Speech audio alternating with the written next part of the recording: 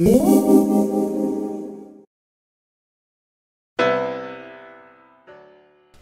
back Gadgeteers. This is actually my second time recording this video because the first time manual focus was turned on and it looked like doggy doo-doo. No offense, Meadow. But anyway, so here's the deal. Um, I came back, as you can see looking in the background, I'm home. Uh, I've been home for about a week now and I'm sorry I didn't make a video sooner, but I'm basically just trying to take care of number one and do what I can to stay healthy. So I have the LVAD. I don't know if you can see this bag here. Weighs about as much as a like a laptop bag with a laptop in it. Total weight seven pounds. Not too excited about having to carry it around, but then again, I feel really good. Uh, I can walk I won't say long distances, but I walked out to the truck and I didn't have a problem breathing or anything, which I was really happy with. Um, I can sit in the chair and I don't have a problem breathing, which before I got this LVAD, I couldn't do that. Really quickly, for those who, excuse me, for those who don't know, I have dilated cardiomyopathy non-compaction, which is a genetic thing. Uh, the left ventricle walls do not form correctly at birth and manifests itself a little later in life, in my case 50 years. And the treatment was medicinal at first, but I now have the left ventricle assist device, also known as the LVAD and it's considered a terminal therapy, meaning that my heart's had it, it's shot. Ain't gonna work out. If, if I'm gonna go forward from here, I have to have a new heart. Uh, I would have to have a transplant. So, but in the meanwhile, this device will keep me alive and actually makes me feel really good, which is a major plus. Uh, I just feel so much more alert. I don't know how to describe it, but uh, Inside my chest is an impeller that shoots the blood through my left ventricle, assisting my heart so that it doesn't have to work as hard. It's really quite cool. Um, let's do some show and tell.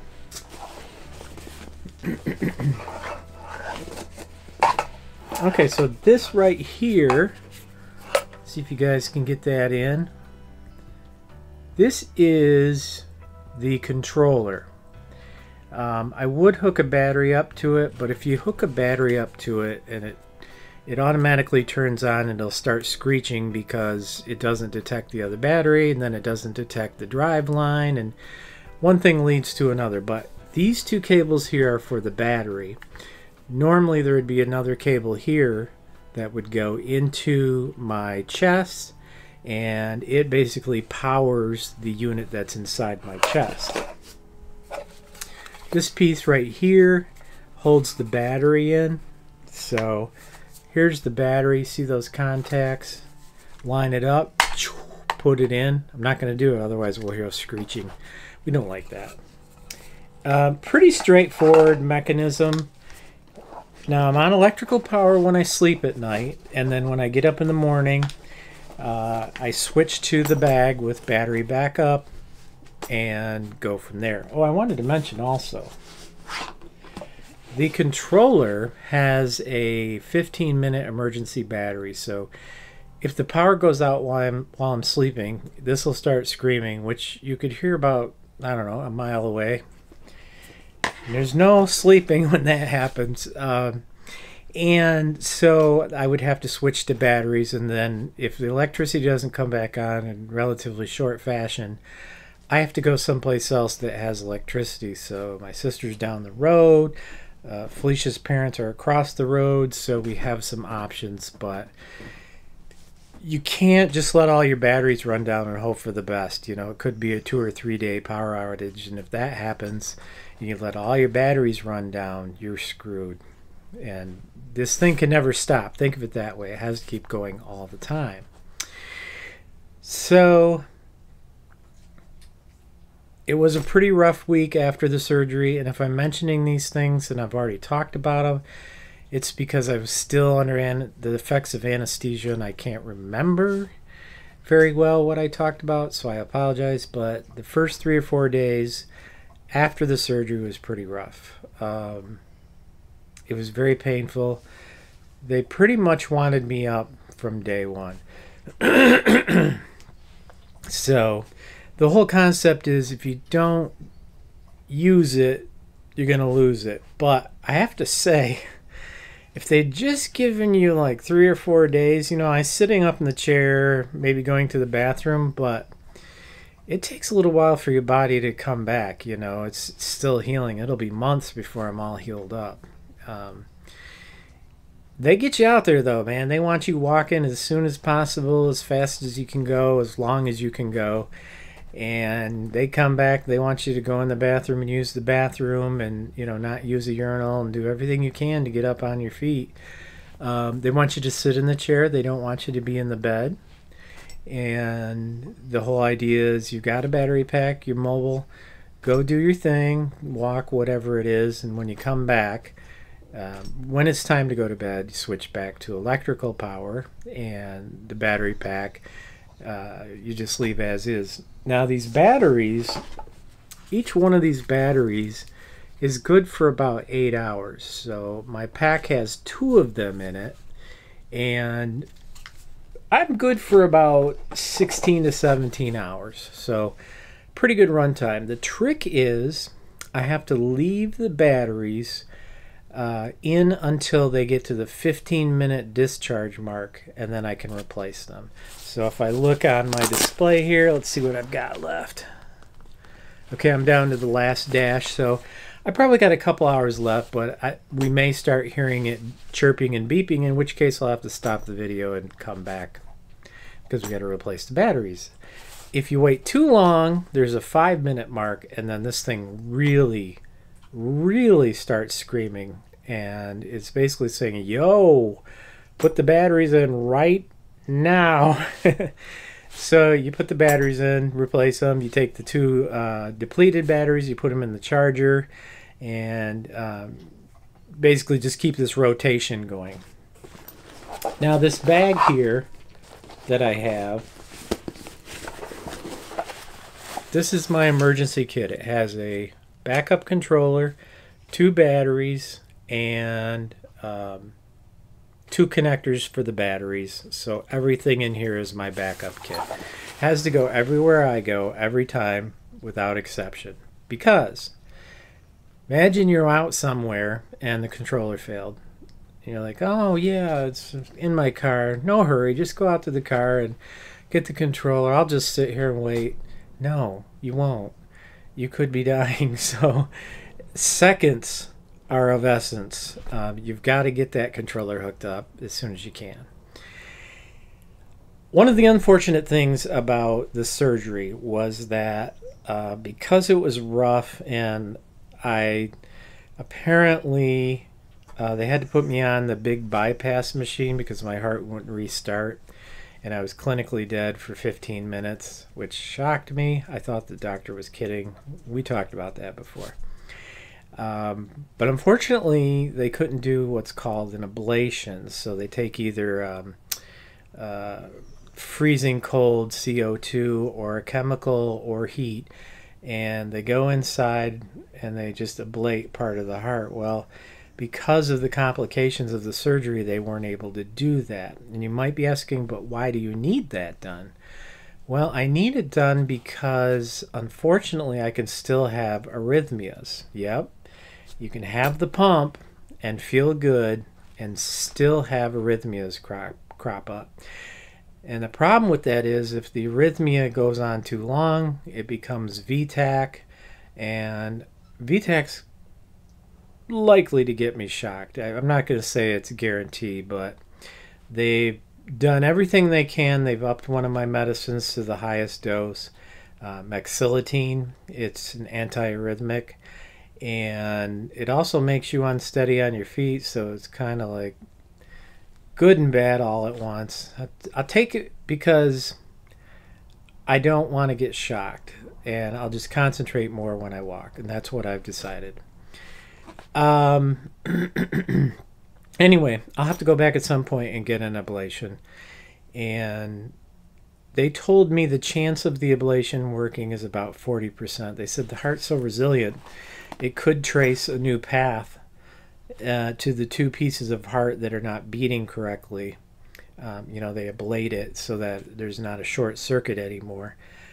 However, uh, there's a chance, a great chance, that it won't work. And from experience with my brother, um, the ablations he had weren't really successful. So we'll see. For those of you who don't know, my brother had an LVAD and he passed away in 2012. The um, he had complications with a brain bleed, and that was basically the beginning of the end. Um, but without the LVAD, he wouldn't have lived as long as he did. So it's one of the things I think about. I mean, if I was to die tomorrow, what would I think? Not much, I'd be dead.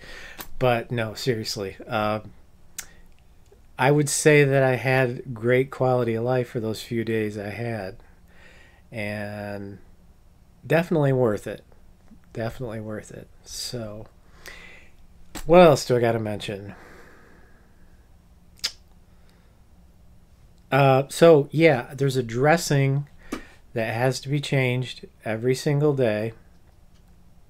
And Felicia changes it, excuse me. Felicia has to change it every single day because I'm not allowed to change the dressing myself, although you can try to look in the mirror and get it right, but it's a very precise, sterile procedure with many steps. One screw up, and I could get a bad infection. If I get that infection, guess where I got to go? The hospital. If the infection travels up the line and gets into my heart, they have to crack me open again and put a whole new one in and i don't think i would like to do that. So it's very precise. Um, while we're in this period you have to have somebody with you for two months 24 7 you cannot be alone because not only would you want to hear the alarms but you want somebody else to hear the alarms. Now both felicia and i are, are qualified through training to understand what the alarms mean and uh, what to do when we hear the alarms. Uh, Felicia actually went through all the training when I was still in the ICU, and I was just passed out. And I would wake up and I'd hear them talking, the trainer and Felicia, and then I'd just go, I'd go back out. But uh, she's actually more qualified than I am because she got like a double dose of the training. The other thing is, um, you know, dispensing medicine, you have to keep a log.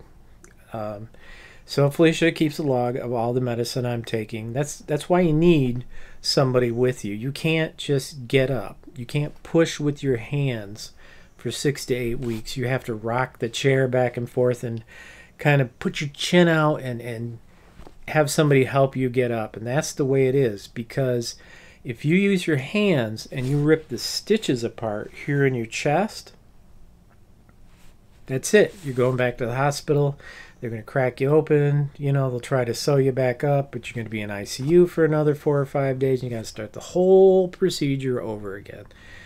And I don't want that. So I'm trying to follow the rules and do what I've been told. Uh, let's see what else. They put me on an 1800 calorie a day diet. I would normally be lower, more like a thousand but they told me not to do that and to get plenty of proteins and nutrients in with vegetables and things like that because I'm still healing. Um, at the same time, I drop about a pound a day, and you might wonder, well, how is he losing weight when he's eating 1,800 calories a day? Well, I have from the surgery, I gained about 12 pounds of water weight, so it's all very delicate we have to slowly take the water off. If we go too fast, uh, key electrolytes will get depleted and I will get shocked. And that happened in the hospital. It's not very pleasant. Although I got to tell you, it's better than the paddles.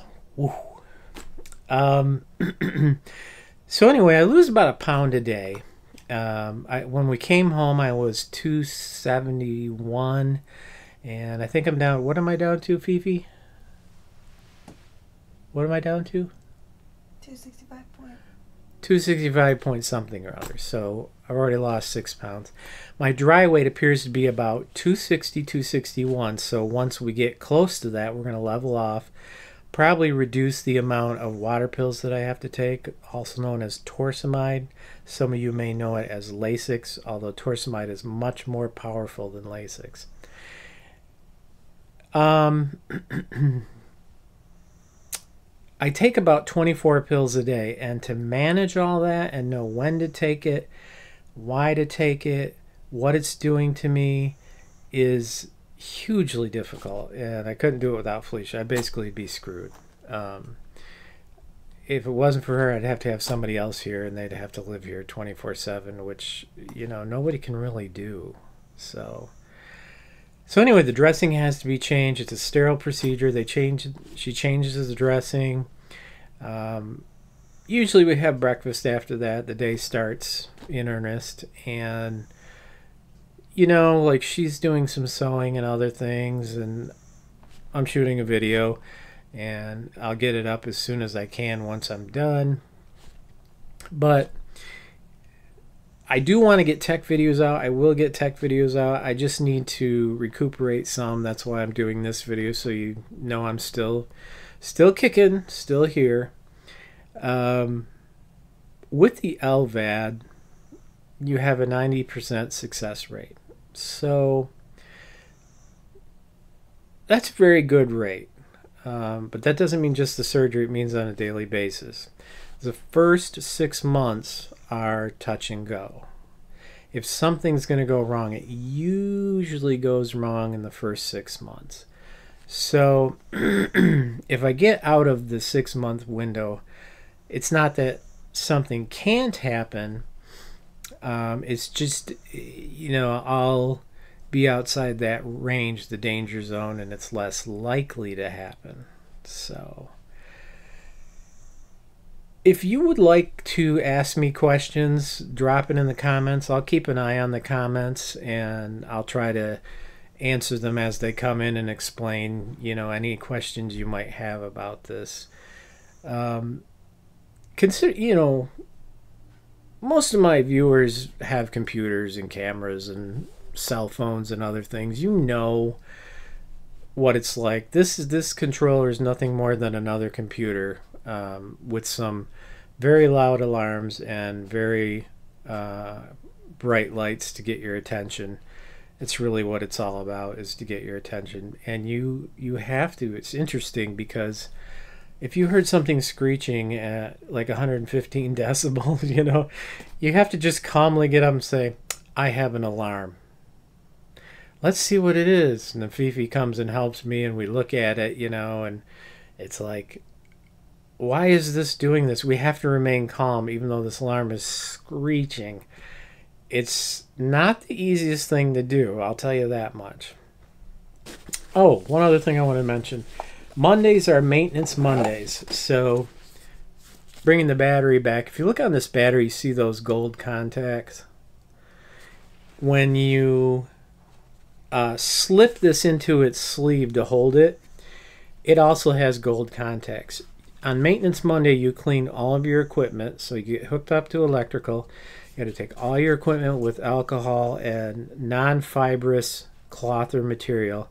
And you have to clean off every one of the contacts and do the same thing for the battery holders and check all drive lines, make sure there's no breaks in them, no breaks in the power lines for the batteries. You can do this for all the equipment because you don't want to be in a situation where you take a battery out because this thing starts screaming and says, you know, hey, one battery is down. And you go and push the next battery in, and it doesn't make any difference. So you know you got a big problem. And the problem could be as much as a mote of dust. So you got to clean it, keep it put away, um, keep it secure, and your life depends on it. You have to do it. So. I was really intimidated by the LVAD um, before I got it, but I'm less so, especially with the training. I felt really good about it, and it helps to know that somebody else knows and understands it. So Felicia's pretty knowledgeable about it, and I feel like if I couldn't understand it, she would. So you got two pairs of eyes looking at something in case something goes wrong. Um, otherwise, I'm doing quite good. Uh, I walked five minutes yesterday. Sounds trivial, I know, but I felt really good when I did it, and I'm going to try and increase that, you know, day after day. They want me to get up to about 30 minutes without having to take a rest, which would be about typical for me. Uh, you know, 30 minutes would get me and the dogs around the neighborhood and back home again. Hi, JD. So, if I can get up to 30 minutes, I'm going to be really happy. Very, very, very happy. Um, although I'd like to do eventually like an hour. Um, I have a LVAD, I guess you would call him coach he is he he's had his LVAD for two years, and each of the phases that I went through, he was coaching me on. Hey, you can expect this. You might experience this. It might be, you know, so on and so forth. And um, his information has been invaluable for me. Sorry about the cat. She don't care. She wants food. She's got food. Um. Anyway, he told me that he could do things that he wasn't able to do before, and he helped move something like 14 yards of mulch with him and his neighbor. And the LVAD is what makes that possible. So I'm pretty excited about it. Uh, it's definitely going to be a different life for me. Uh, my friend Brian said, you know, go for quality, and my doctor did as well. He said, go for quality not necessarily quantity. What do you want? And I might get the best of both worlds. We'll know more, you know, in the near future whether or not, you know, this is going to last me. And hopefully I can get that last 10 pounds off and get on the heart transplant list and be eligible for a heart. That's my goal. Okay, that's all I've got for now. Uh, I want to say a big shout out and thank you to my family, friends, and uh, the YouTubers that view my videos and make comments. It uh, I don't know how if I would have got through it as easily. I, I won't say it's easy; it was hard, but I don't think I would have got through it without your comments and and well wishes and prayers. I really appreciate that. Uh, so thank you for that and thank you for continuing to do that. I really appreciate it. And I will try to do an update sooner than one week, but I'm kind of I'm waiting for something to change before I do a video. You know, I want something to uh, like a positive change that I can report to you. So I don't just want to do a video. Just well, maybe I will. I don't know. Uh, anyway, I try to wait until there's something to report. Um, that's why, and of course I've been sleeping. Speaking of sleeping, I can only sleep on my back. I hate sleeping on my back, and I'm in a chair. It's miserable. I really don't like it at all. Um, hopefully, someday soon I'll be able to sleep on my sides again, but right now it causes too much pain, so it's not possible. But uh, so I get cat naps two hours here, two hours there, one hour here, a couple hours there. It's it's kind of tricky. All right, I'm to let you go. Thank you for watching. I will see you next time on Fast Gadgets. This video was made possible with support from viewers like you. If you find this video useful, consider becoming a patron for as little as a dollar a month at patreon.com forward slash fastgadgets.